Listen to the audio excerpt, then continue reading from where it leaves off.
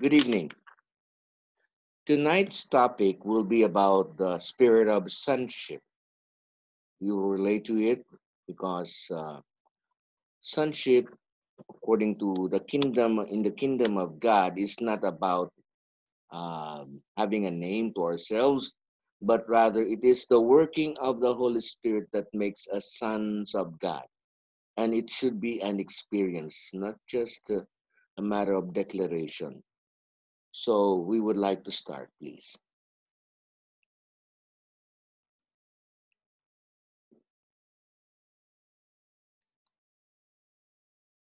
We are now in the third session of the courts of heaven, where righteousness and justice is the atmosphere of heaven. It's the spirit of sonship.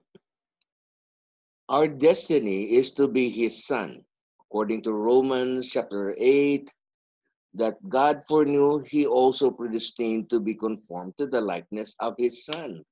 We all are supposed to be like his son, that he might be the firstborn among many brothers. So that's us, a brother to his son. Now, this is not about being male or female when we talk about son. It's more about our relationship with our Father in our position as heir of the Father or co heir with the Lord Jesus Christ. We are sons and we know it. It is written in His Word, and God sees it that way. The question is do I feel like a son? Do I think like a son? And do I act like the Son of God? Do I experience this personal relationship with the Heavenly Father? It is a relationship, of course. Now, do I live out this relationship in my daily life? And if not, why? Why not?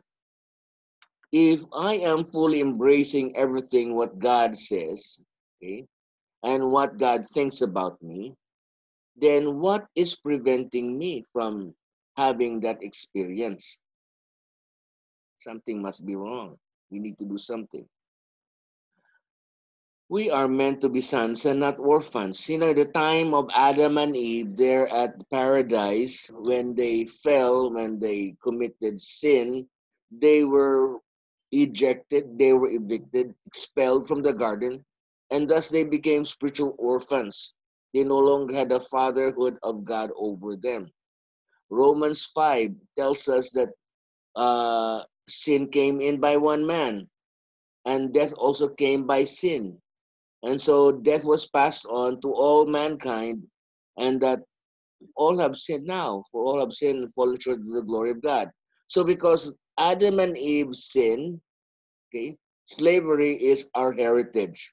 All of us have sin in our life because of the sin of Adam and Eve. And this affects how we feel. It affects how we think about ourselves. It affects how we feel and think about God. We are all spiritual orphans as we are separated from the Lord. So that's why Jesus came to pay the penalty of sin, that we may be uh, redeemed. And so, because we have Jesus in our life today, we are on a journey from orphanness to sonship. Do you know that orphans have a spirit of poverty or poverty spirit? Even though a person may be so rich, but if there is a poverty spirit, you will feel that they ha- they need more, they need more, they need more. And there is a fear, fear of the unknown, fear of losing their wealth, fear of so many kinds of fear.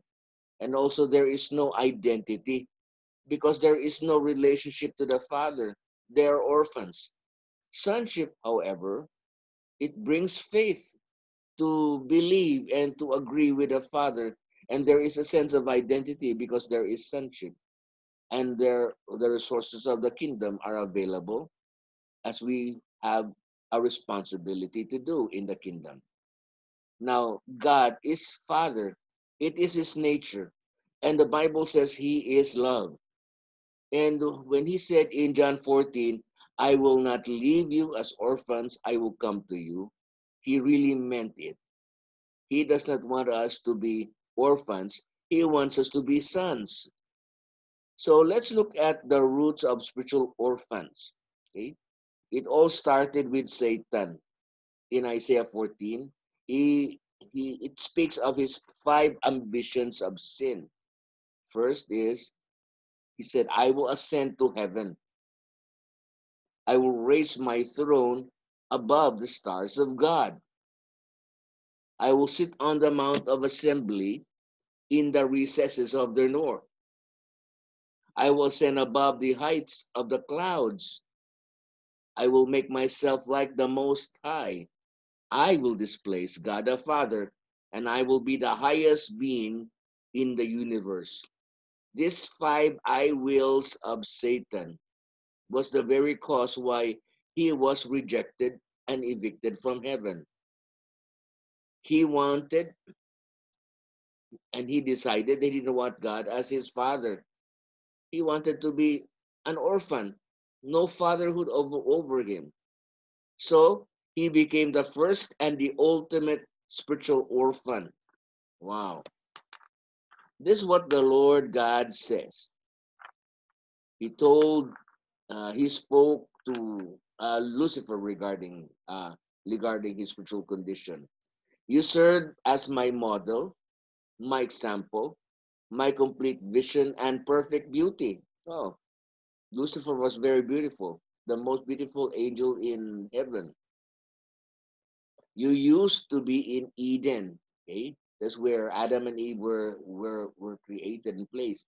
God's paradise. You wore precious stones for clothing, ruby, topaz, diamond, beryl, onyx, jasper, sapphire, turquoise, and carbuncle. Your settings were crafted in gold. Wow. Along with your engravings. On the day of your creation, they had been prepared. So Lucifer is a created being. You were the anointed cherub. He was set apart. Having been set in the place on the holy mountain of God, you walked in the midst of fiery stones. You were blameless in your behavior from the day you were created. He was just perfect until wickedness was discovered in you when he had a, a five eye wills. Since your vast business dealings filled you with violent intent from top to bottom, you sinned. Okay? Satan sinned. Lucifer sinned. So I cast you away as defiled from the mountain of God. He was banned from the mountain of God. I destroyed you, you guardian cherub, from the midst of the fiery stones. Your heart grew arrogant because of your beauty. You annihilated your own wisdom because of your splendor. Then I threw you to the ground in the presence of kings, giving them a good look at you. Wow. By all of your iniquity and unrighteous businesses, you defiled your sanctuaries. So I'm going to bring out the fire from within you and burn you to ashes on the earth before the whole world behold before the whole what before the, whole watching world everyone who knows you throughout all the nations will be appalled at your calamity and you will no longer exist forever wow so Satan's ambition was to displace God. He wanted to be Father. He wanted to be God. He wanted to replace God. Okay? Satan therefore was cast out of heaven. Now, what did he miss when he was cast out of heaven? Okay? He missed the Father's presence. Father was always in heaven. His presence was there. His manifest presence, that is. Heaven is where we find the love of God. We enjoy the love of God. The atmosphere of heaven is the love of the Father. When you're in heaven, you are surrounded, you are breathing in love, and love is touching you. Everything about heaven is love. So, from an eternity of joy and glory in heaven, He was removed. He was cast out. He was evicted. He was cast into an eternity of hell and suffering. Wow. So Satan was cast out of the Father's love. He was cast out from the fathering of God. He became a spiritual orphan. So Adam and Eve, when they were evicted from the Garden of Eden, they suffered the greatest broken heart. Wow. Because in the garden, when everything was right between them and God, they enjoyed perfect love. But now they were cast away out from paradise. They were they were forced out. They walked out into fear.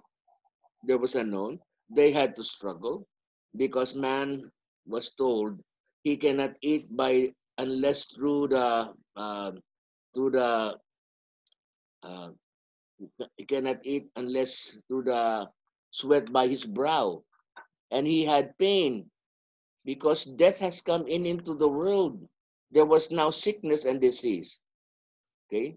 And there was emptiness because the place where god used to fill up was no was already vacuum there was emptiness in their heart and in their lives. They were walking out of the father's love and they they were fatherless. They were orphans.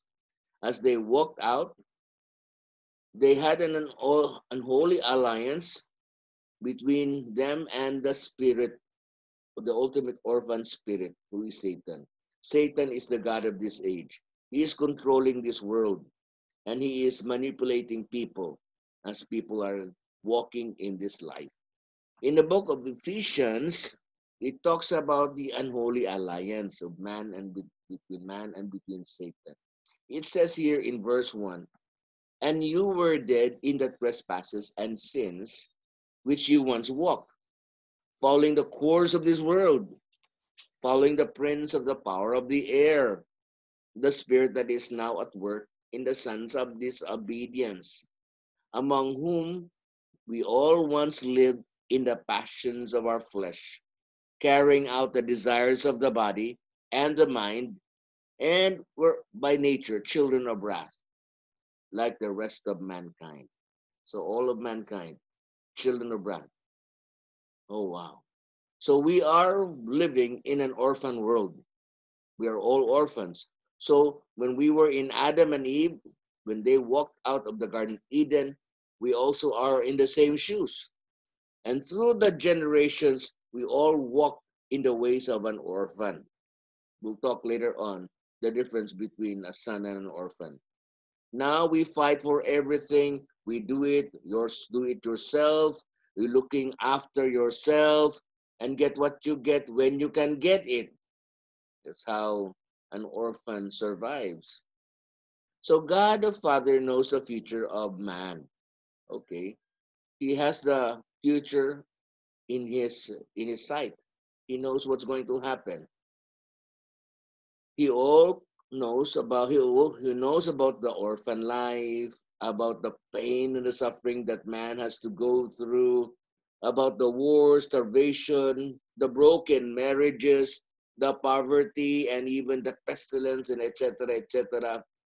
How do you think God the Father felt as he watches his children, his sons and daughters, go through the orphan life, suffering, pain, and how going through wars, starvation, broken marriages, poverty, etc., etc. How did the Father felt when man is suffering so much? So God, because He felt for man, He loved man, He loves us. He sent representation. He sent prophets, kings, poets, men of God, but no one could really represent who the Father was okay, until Jesus came. When Jesus came, he only did and said what the Father was doing and saying. So he represented the Father totally. Okay? In John chapter 5, talks about Jesus. I tell you the truth. The Son can do nothing by himself. He can do only what he sees his Father doing. Because Whatever the Father does, the Son also does. Okay? So, for I did not speak on my own accord. That's Jesus speaking. But the Father who sent me told me what to say and how to say it. Wow. So, what is the heart of sonship? We read in Galatians 4 when the fullness of time had come, okay, God sent forth his Son, born of a woman, born under the law. What, what, what for? To redeem those who were under the law, that we might receive the adoption as sons. Wow. So when we were born again, we became sons and daughters of God by adoption. However, God goes further than just adoption, just than making us just part of his family. He went further than that. Adoption is just the first step. Okay? Galatians 4. Because you are his sons, okay? God sent the spirit of his son into our hearts. Okay? Not just being called to be his son, uh, but he sent his spirit of his son into our hearts the spirit who calls out Abba, Father. Okay. Because you are sons, you're God's son by legal right. Okay. We are his son. First, by virtue of creation. Secondly, by virtue of redemption. He created us and we got lost into the darkness in this world because of sin. And we were redeemed. We were bought back by the blood of Jesus so legally, we are His. And He has poured out His Spirit of His Son upon us. The word adoption in the Greek word is huiothesia, and it means to place as a son. It's not, it's not just uh, declaring that we are a son, it's placing as a son, meaning giving uh, responsibilities so that we can do business in behalf of the Father. We can assign um, contracts in behalf of the Father. We can do things in behalf of the Father. That is how we are placed as a son. Adoption, huiothesia. In a word, you use it's the common noun for an adult. Jesus was credited as his son when he was 30 years old, when he was baptized in uh, by John the Baptist in the Jordan River, the Spirit of God came as a dove, and God said, This is my beloved Son, whom I love. Okay, so he was placed as a son at the age of 30 when he was baptized. Okay, common noun for an adult son. And word tesia is means placement or an installation, a setting of a person or thing in its place. So not just adoption, bringing into the family, but setting into place of responsibility of sonship. Sonship is actually a responsibility. It's not just a position. Romans 8, for you did not receive the spirit of bondage again to fear, but you received the spirit of adoption, by whom we cry, cry out, Abba, Father. You know, the adopted child cannot by in his own strength cry out, Abba, Father, or nor our human hearts, our carnal hearts. We don't cry out, Abba, Father. It's only through the Spirit of the Son in us that we are able to call Abba, Father, because the Spirit of God in us affirms and confirms that we are His Son. So when we close our hearts to our Father, we lost the heart of a son. Let me tell you a story. James Jordan one of the ministers of the Father Heart Ministry, wrote in his book that when he was studying how to pray, you see, he saw uh, a lady who was also there in New Zealand. Uh, right, no, it's it was in America. This lady, when James Jordan looked at her, James Jordan just knew that she knew how to pray. There were James Jordan met so many intercessors, prayer warriors, but when he looked at this lady, he just knew that this lady knew how to pray. So he wanted to practice praying, to be just like this lady, to know how to pray.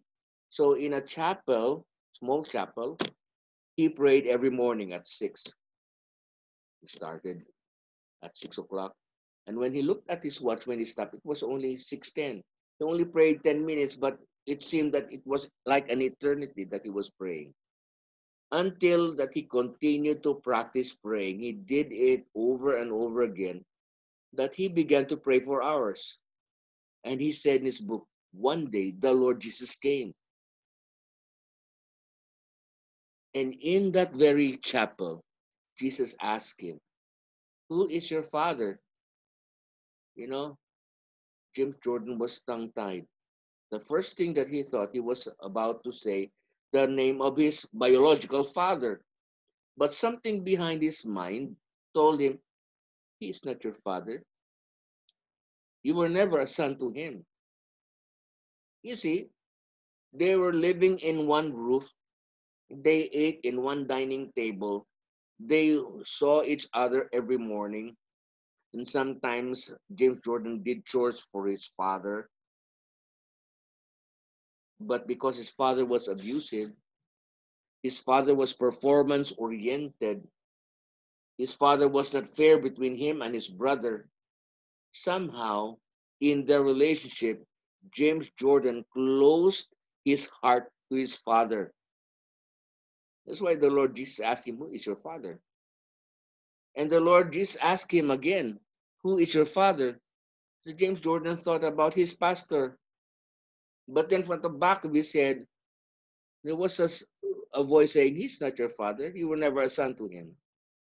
So he thought again about his uncle, who was also a good man, who was generous and who was so godly, involved in many ministry.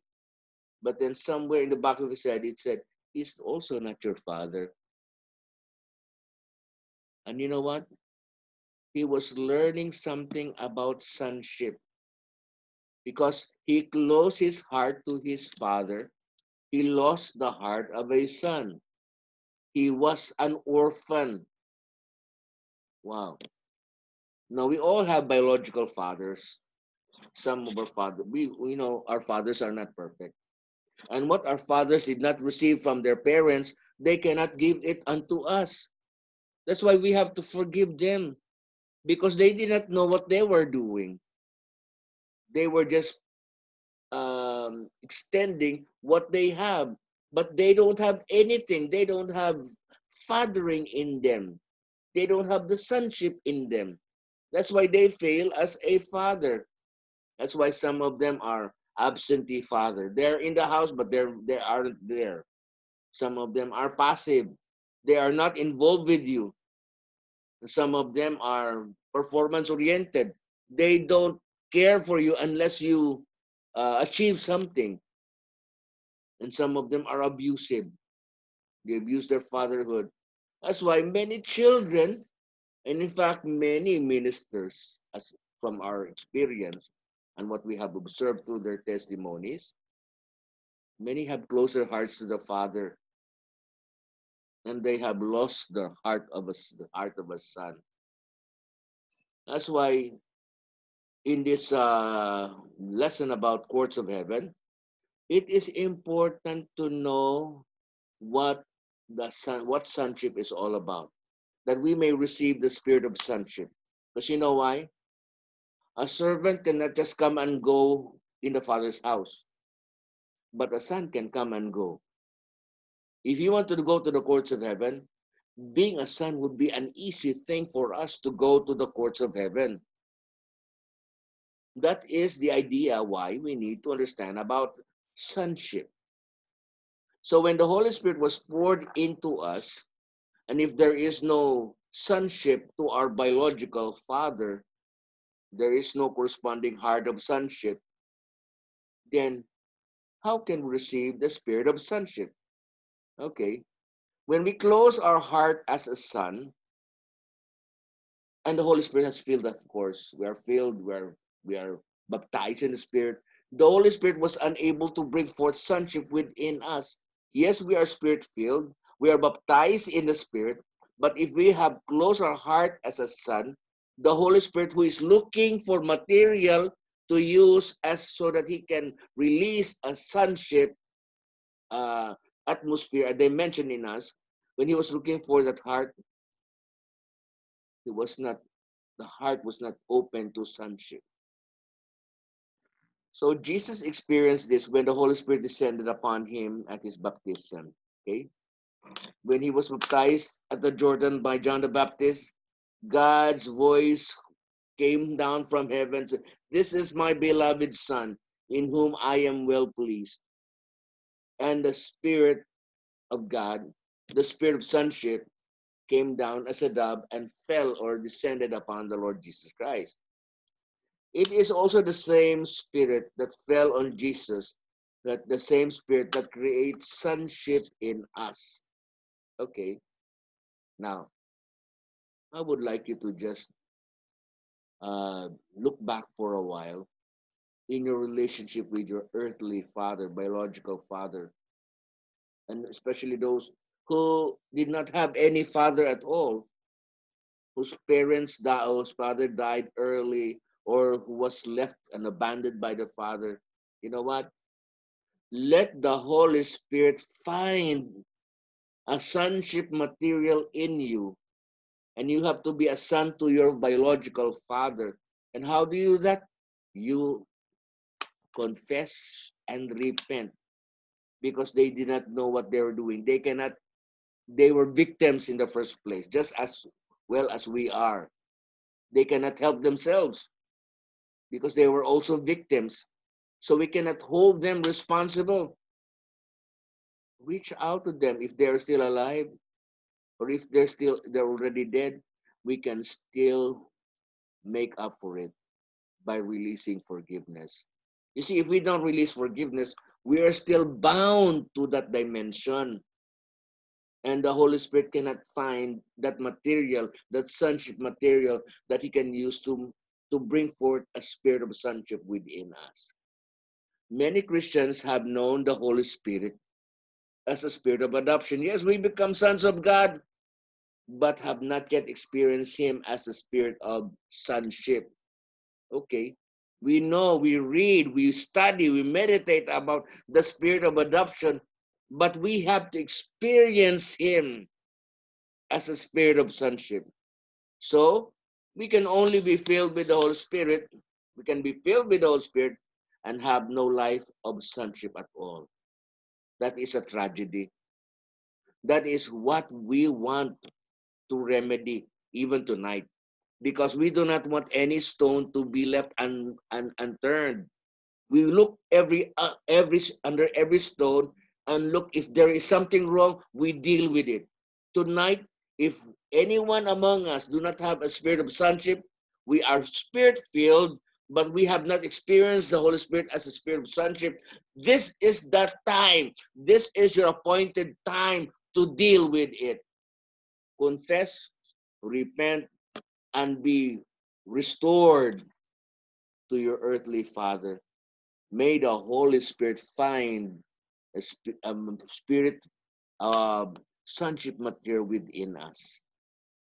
So when the spirit gets poured into the heart of a person who has no heart of sonship to their own parents, the Holy Spirit cannot function in that person as the spirit of a son. Tragedy. So when we close our heart to our earthly father, we lost the heart of a son It's something very serious, church. Something we should not let by, uh, bypass us tonight. Something that we really have to deal. It's between you and God, okay? Between you and God. Perhaps some sometime tonight, you have to come to God and address that circumstance or that situation. We no longer had the heart of a son towards any father figures, including God. So our relationship with God the Father is only theological or intellectual or bookish, if we don't have the heart of a son towards any father, we cannot relate to our Heavenly Father as a son. It's only theological, it's only theory, it's only professional, but no relationship. We have to deal with this. Amen. So the Spirit of God looks for a corresponding harmony within us for it to be made real in our life experience. Because our life is not just memory verse. Our life should be an experience of God. We can see here in the table a category on the left side, on the left uh, side. In the middle column, we see the heart of a slave or a servant or orphan. In the right side of this table, we read the heart of a son. Okay, we'll go through. We'll just breeze through this, and I believe you're going to get a copy of this uh, of this PowerPoint. So we'll just breeze through this. The orphan sees God as a master, but the son sees God as a loving father. Okay, the orphan is independent, self-reliant, doing it his own way. But the heart of a son is interdependent to the father. He acknowledges need. He is humble enough to ask God, I really need you. The orphan lived by the love of the law. He loves the law. But the son lived by the law of love. You see, First Corinthians 13. If you don't have love, you are just a clanging cymbal if you don't have love, you are nothing, according to God. If you don't have love, you gain nothing. Oh, so an orphan is insecure because nobody, nobody's taking care of him. He lacks peace because there is always something to think about. But uh, a son always have rest and peace because the father is there to take care of his needs. The orphans strive for the praise, approval, and acceptance of man. Okay? But the son is totally accepted in God's love and is justified by grace. He doesn't have to prove anything. The orphan needs a personal achievement. He needs to achieve something to impress God and the people around him. Or he may have no motivation at all to serve. But the son the service that he does is motivated because of a deep gratitude of being unconditionally loved and accepted by God. The orphan, behind his Christian discipline, is all about duty and earning the God's favor, or there is no motivation at all. So he goes to the prayer meeting, he does ministry to earn God's favor. But the son he does ministry because it is his pleasure and it is a delight for him. Okay? And the orphan, his motive for purity, he must be holy to receive God's favor. And so, because he needs to work it out, his holiness, to receive God's favor, there is an increasing shame and guilt. But the son, he doesn't to work for it. He wants to be holy. He desires to be holy and he doesn't do anything to hinder the intimate relationship with God. He, he just wants to be holy because he wants to be more intimate with God. Not, not to get God's favor, but to be more intimate with God. The, son, the orphan has self-rejection when he compares himself to others. The others are better. The other person has much more things. The other person has much more money. But the son is always positive and affirmed because he knows he has such value to God. God values him. He is the apple of the God's eye. He knows it and feels it. Okay? The orphan seeks comfort in counterfeit affections, like the addictions, compulsions, escapism, the busyness. You know, people can be so busy in ministry because they are looking for a sense of comfort they think that God accepts them because they're so busy in ministry and they're hyper religious. They're very religious. But you know, the son, he seeks times of quietness and solitude. Doesn't really have to be busy. to be just in rest in the Father's presence and love. Wow. The orphan is always competing. He is always always has rivalry and jealousy to others who are more successful and those in a higher position.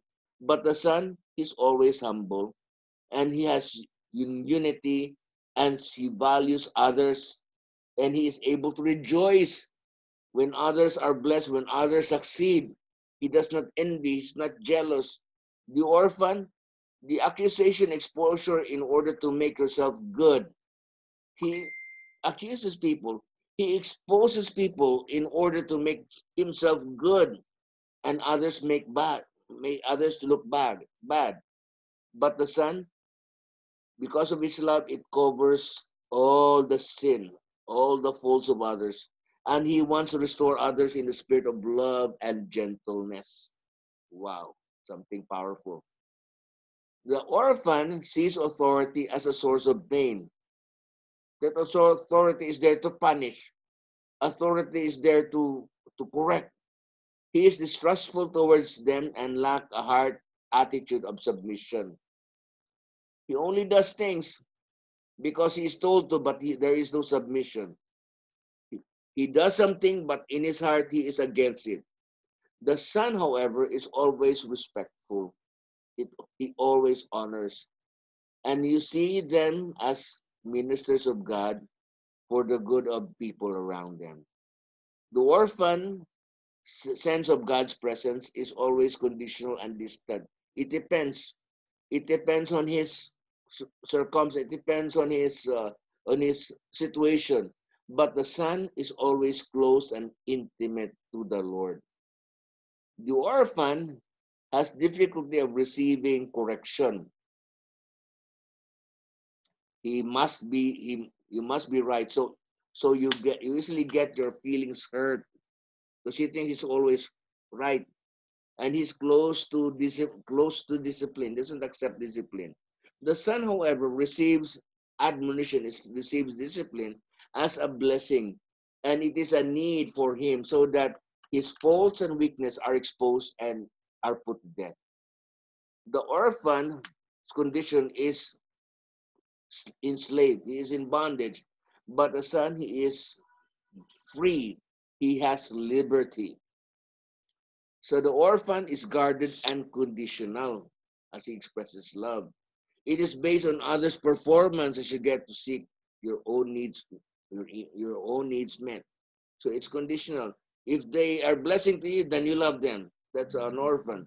But the heart of a son, he is open, patient, affectionate as you lay your life and agendas down in order that you, as a son, will meet the needs of others. Your life is not for your own. You live for others. So the position of, a, of an orphan, he feels like a servant, a slave. Okay? But the son, he feels like a son. He feels like a daughter. He feels loved. An orphan has no choice, but the son, he has free will. So the heart of an orphan there is spiritual ambition. He has desire for spiritual achievement so that he will be known, he will be recognized, and he will strive to achieve it. There is a desire to be seen and counted among the mature. He wants to look mature. That's why he works for it. He goes the extra mile for it. And people think it's so, this man is so spiritual. He does ministry. He's always involved with ministry. He's in ministry 16 hours a day. But the son, to daily experience the unconditional love and acceptance, then be sent as a representative with love to the Father and others. It's just experience the Father's love. He looks forward to receive the Father's love. The heart of a son, he fights for what you can get and the son, it releases your inheritance. Because you're a son, you you will receive your inheritance. But an orphan he has to fight for it. He has to fight for a blessing. He has to work for a blessing. But a son, because he's a son, he will just receive what he needs. Wow. So the heart of an orphan, he runs from pain. The son embraces pain strategically. Orphan seeks to avoid problems. The son seeks opportunities in problems. The orphan sees the cost of failure. The son sees the benefit of failure. Failures are also good because they will, we learn from our failures. The orphan obeys orders. The son solves problems. The orphan looks at the right at the right way to do a job. The son looks for a better way to do a job. The orphan considers consequences. The son sees possibilities. Wow. The orphan sees cost, but the son sees value. The orphan wants to receive. The son wants to know how they got there. The orphan cares for himself. The son understands social responsibility. What can he do for the people? The orphan talks about self, while the son talks about his team, talks about us, not me. The orphan expects more from others than from self, but the son personally raises the bar. Okay? As orphan extends honor, but the son extends honor downward. Okay. So the son only, the orphan only gives honor to those who are above him, but the son gives honor to those even who are down below him. The orphan looks for immediate gain, but the son sows into the future. Looks forward the fruit in the future. The orphan seeks comfort, while the son seeks fulfillment, not comfort, but fulfillment. The orphan wants to be like now, but the son will let history be his judge. So just look at this, what, what can people say in the long run? The orphan is disloyal when he succeeds. He will get all the credit for himself, but the son, he initiates sharing the success. The orphan gives favors, but the son shows favor. The orphan seeks supernatural for self, but the son uses the supernatural in behalf of others. Wow. So, knowing Jesus is not the same as knowing the Father because the Father is usually only in the background when you compare him to the person of Jesus.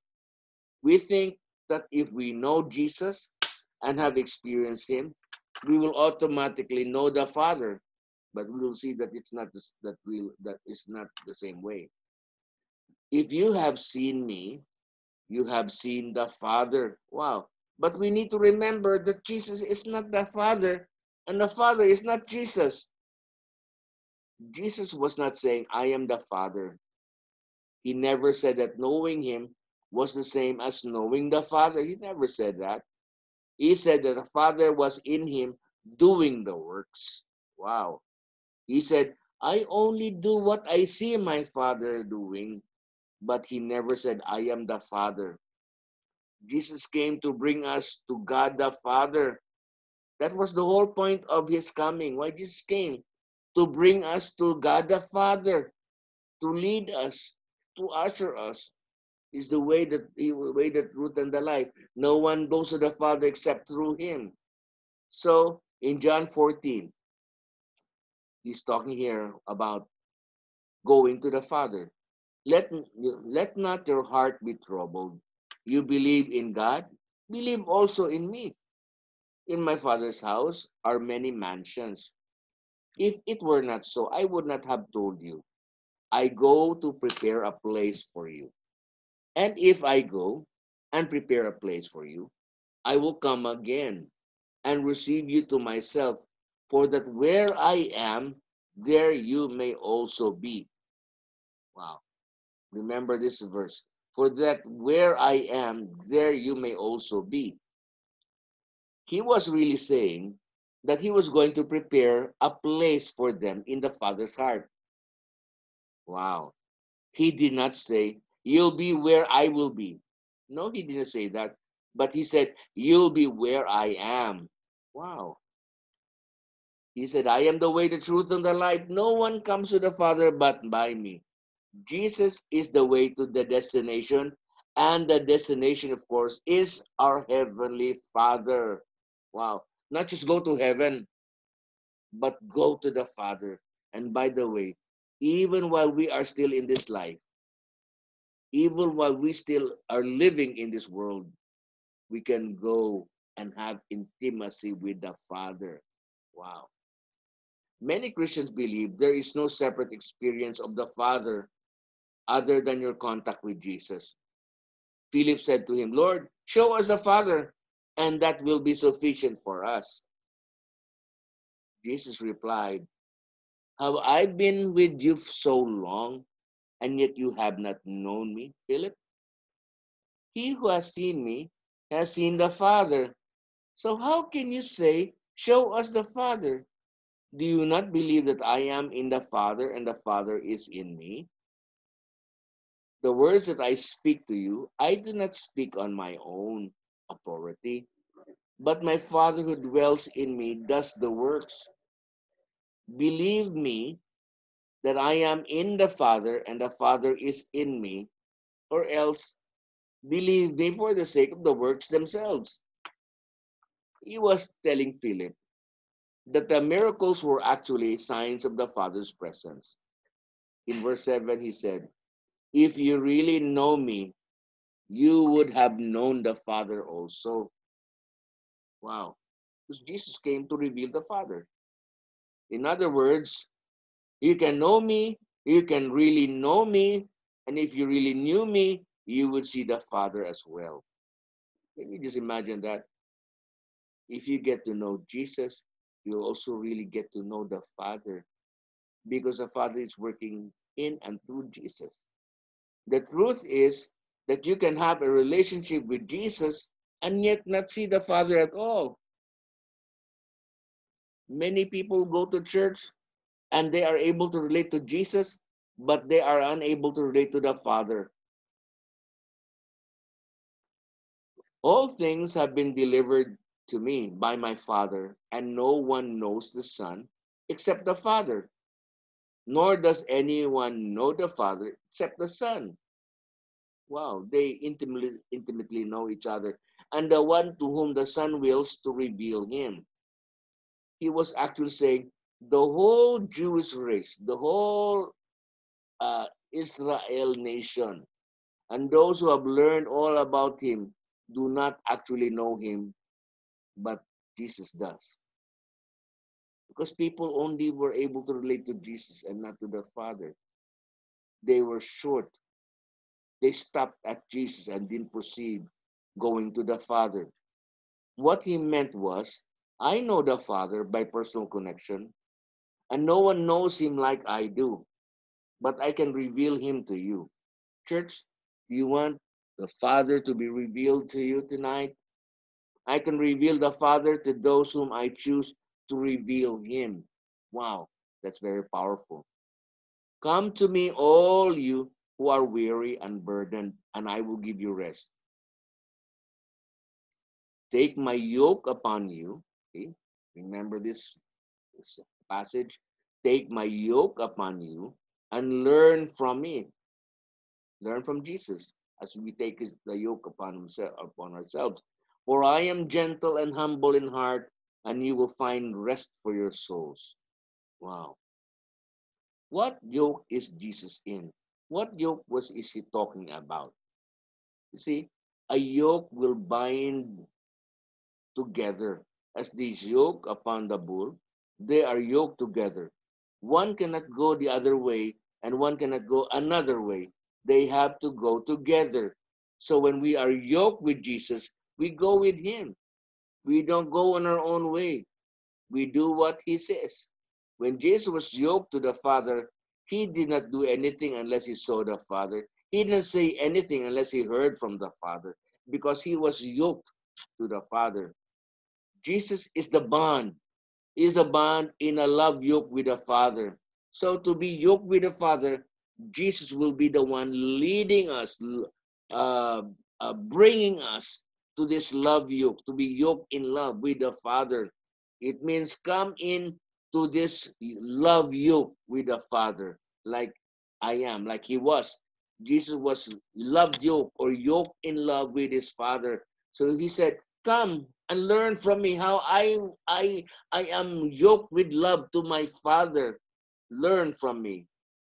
Because we are in Christ, we can learn from him and we can be brought to the Father to be yoked in love to the Father.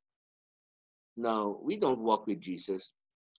In Galatians 2, I have been crucified with Christ. It is no longer I who live, but Christ who lives in me. Wow. We don't walk with Christ, He lives in us. And the life I now live in the flesh, I live by faith in the Son of God, who loved me and gave Himself for me. Our life has been swallowed by Christ. We are in Him, He is in us. Our life now is Christ living in us. Now that you are in Christ, enter to this love you. Okay, be yoked with Him be yoked with the Father and walk with Him in this yoke. Okay? The work that He is doing, walk with Him because we are yoked with Him. Christianity is actually resting in the arms of love of the Father as we are yoked in love with Him. One step with the Father will accomplish more than a thousand steps of an enthusiastic action. So, we can do things. We can be very busy. Can be involved in this and we can involve, involved with that. We'll have endeavors. We can be participating so many things at the same time. But just one step with the Father, we will accomplish so much when we are yoked with Him, when we are in rest with Him. Jesus says, My burden is light. Okay. C.S. Lewis, who is a well-known author and a, a lay uh, theologian, he said, one thing Christians have and the world doesn't have, and no other religion has, is joy. You see, you will not experience that joy unless there is a rest in your heart. And you will have no rest in your heart unless you are yoked in love with the Father. Because if you're not yoked with the Father, you'll be doing things, you'll be very busy, you'll be doing this and that and going there and here. But when the Father, yoked with Him, something powerful transpires. So this is what Christianity is. We have been restless for years. We've been so busy. We're involved in so many ministry. We've been attending so many seminars and conferences, trying to, to learn more, trying to do things better and not knowing what we are actually looking for. We go through seminars and conferences, hopefully to learn something, but we didn't know what we were looking for. Knowing the Father is not just a matter of adhering to a theology in the book or the study of God in a book, reading from it and trying to appreciate something about the study of God in a book. No, the Father Himself becomes real to your spirit. It's not just reading from a study of God in a book, but it will be a real experience in your spirit. And His love begin, begins to be, be revealed within you. Not just read about it, not just hear about it, not just being preached about it, but His love is going to be revealed, unfolded. You will experience that love. So the whole point of Christianity is to know the Father and to know Him not because you've read about it, about Him in a book somewhere or in a Bible. You will get to know Him because He will reveal Himself. Jesus came to reveal the Father. The Bible is there so that the Father will be revealed. It's not about the reading, it's not about knowledge, it's more about the revelation of the Father that is important. Jesus is the way to the Father. The revealing of the Father is the destination. Just don't just uh, pursue ministry. Pursue getting a revelation of the Father. Get an intimacy with the Father. The truth is, you really cannot know the Father unless you have the heart of a son or a daughter. You cannot know him because he is father. And only the son will know the father. Not a slave, not a servant, but a son will know the father. You can receive a touch from God, the Father, okay, in a revival service, on a prayer meeting. You can receive a touch from Him. When you are being prayed for, you can receive a touch from Him. You can have an experience of His love poured out unto you. So powerful and so warm. Yes. You can even know His love touching your heart. And it is uh, rearranging and, and, and, and, and, and even exciting your emotions. But you cannot have an intimate relationship with the Father unless you have the heart of a son. So important to have the spirit of sonship. Many people encounter the Heavenly Father, but only those who have the heart of a son or the heart of a daughter can live in relationship with Him as a father. As you come to know Him as your father, and His love begins to touch and fill your heart, that same love over time will be the one to continuously heal your heart. Wow. There'll be an ongoing progressive healing of your heart as you get to know the Father, and His love will minister and touch you and fill your heart over and over and over again. If you don't have the heart of a son to the parents that God gave you, now remember your parents. They are not perfect, but in their own way, they love you. Although it may not show, although they may be abusive, although they may be absent or passive, but you cannot have a real relationship with God as your father if you don't have a heart of a son to your parents and you will go through your life, throughout your life, unless this dealt with. You will go throughout your life trapped in your orphan ways and perspectives, according to what we have gone through in the table regarding uh, uh, an orphan and a son. Malachi 4 6. And he will turn the hearts of fathers to their children and the hearts of children to their fathers, lest I come and strike the land with a decree, decree of utter destruction.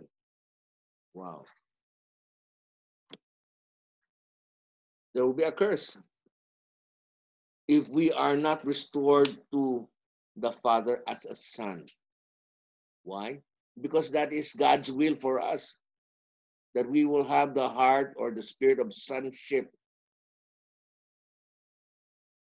Next, if you are in some form of Christian ministry, whatever ministry may be, pulpit ministry or healing ministry or evangelistic ministry or prophetic ministry, whatever ministry it may be, you will never, you will always face a limit.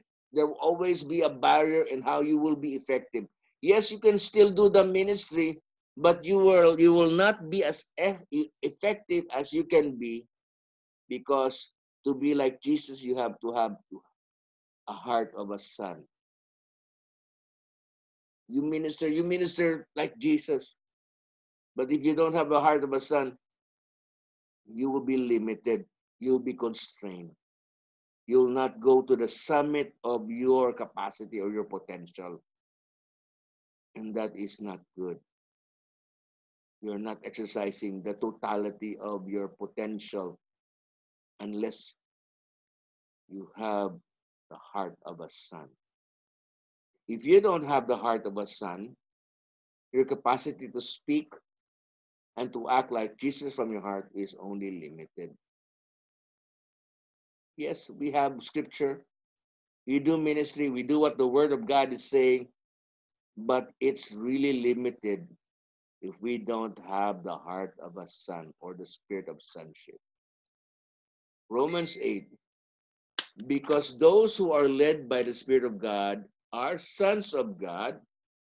For you did not receive a spirit that makes you a slave again to fear, but you received the spirit of sonship. Wow. And by him, through the spirit of sonship, and by him we cry, Abba, Father. We can only cry, Abba, Father, if the spirit of sonship is within us. God, the Father, hears it when it is the spirit of sonship calling him Abba, Father. But in our own hearts, in our own strength, capacity, when we cry out, Abba, Father, it will not mean anything to God. It has to be by His Spirit. Remember, it's not by power, it's not by might, but it's by the Spirit, says the Lord. So the Spirit testifies with our spirit that we are God's children. We know that we know that we know that we know, not intellectually, but we know it because the Holy Spirit confirms it. Now, if we are children, then we are heirs, heirs of God and co heirs with Christ. We have something to look forward to. We have a birthright if we indeed share in his sufferings in order that we may also share in his glory. What does God want for you? Well, God desires that you would connect with him with your emotions, not just intellectually, but with your emotions. When you connect with God through your emotions, it is it reflects an open heart. That your heart is not closed. It's not close to your father, it's close to your parents, but it's open. Psalm 51 The sacrifices of God are a broken spirit, a broken and uncontrite heart.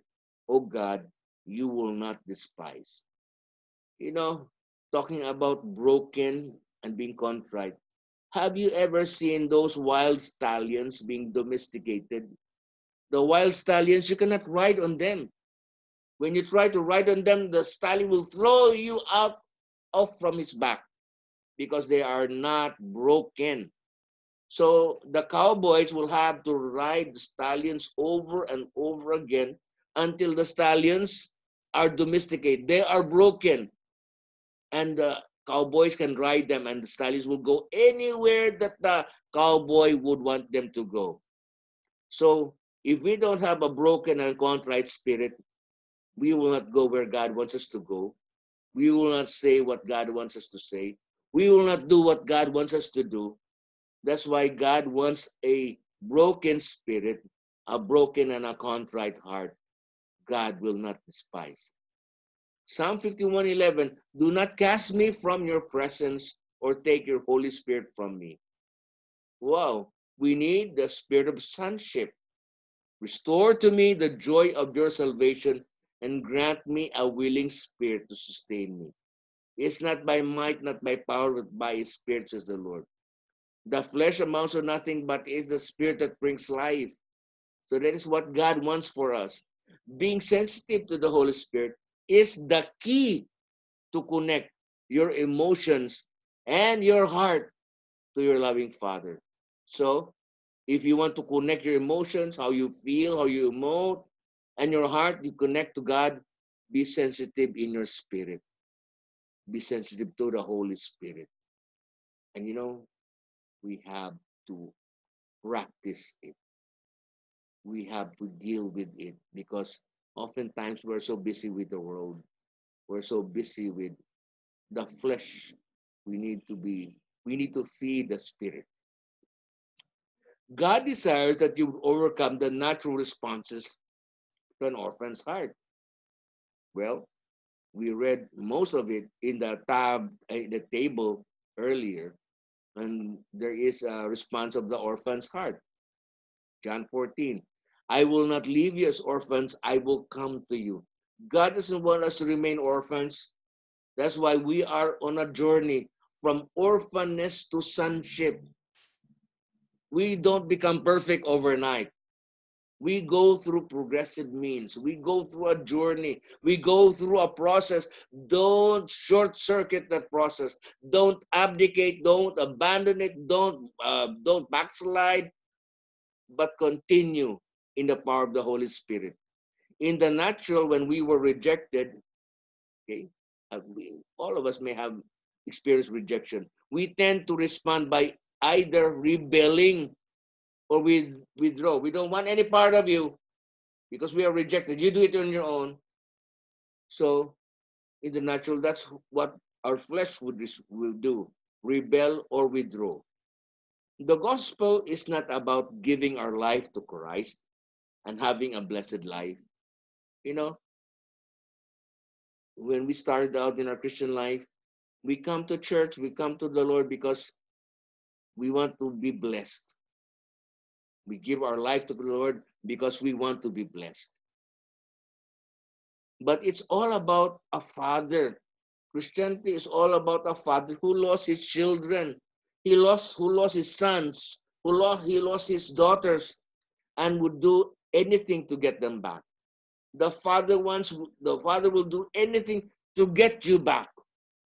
And that is why you are here tonight in the courts of heaven, session number three, so that God can bring you back to Him as we are talking about the spirit of sonship. He wants to love the orphan spirit out of you, if there is any, and introduce you to your true father. Wow. So, as we conclude, everything that we are was designed by our Heavenly Father. Remember, He formed us in our mother's womb. So everything we are was assigned by our Heavenly Father, and that we are His sons now and forever throughout eternity. Hallelujah. Praise the Lord. And some say amen to that. Yes, amen and amen. And so shall we pray. Father, we would like to respond, O God, in humility and in meekness to this message and to this teaching tonight. Should there be anything, O God, that has transpired between our natural fathers, our biological fathers, and us, if there has been closures of our hearts to our Father, Lord, we want to deal with it tonight. So we ask, O oh God, for forgiveness before you and before our father and mother. If they are still alive or whatever they may be tonight, we are sorry. Forgive us. For we know that you did not do it uh, intentionally. We know that you did not intend to withdraw love from us. Because, first of all, you were also victims. So we release forgiveness. We are really sorry for having closed our hearts to you, Father and Mother. And we want to make things right. We repent. We would like to relate to you as our Father. We would like to be intimate with you, even in the spirit, if not in the in the flesh. Tonight. Restore us, Father. Just say the word and it will be done. Restore us to our Father as we release forgiveness and ask, O oh God, in as we repent, that we will be restored, that we will also receive the spirit of sonship, as there would be material for the spirit of sonship to work in us, to make us your sons, to make us your daughters, and not just to know about you, to study about you, but to experience you as our real heavenly Father, that we may rest in you that we may walk with you and to be equally yoked in love with you, O God. So, Father, just anoint us today as we consecrate our lives to you and to your loving purpose to be a son. We want our hearts to be turned back to you as your heart is turned to us. Make us whole today. Restore us in your most perfect will. Help us, Father. And as we consecrate, sanctify us that we, O oh God, will be an asset to you and to your kingdom and to your greater purposes and that more will transpire in our life as we are able to come to your holy presence, to enter the courts of heaven as a son, as a daughter, to have free entrance to you, God, access to you, and to find favor before you, even tonight and throughout all our days. So, Lord, we just put everything in your hands tonight. Thank you for this privilege of learning, receiving, and even for the restoration and for the blessing. This we all pray through Christ our Lord. Amen and amen. God bless you and have a powerful um, session um, tonight and even for the coming sessions. Thank you.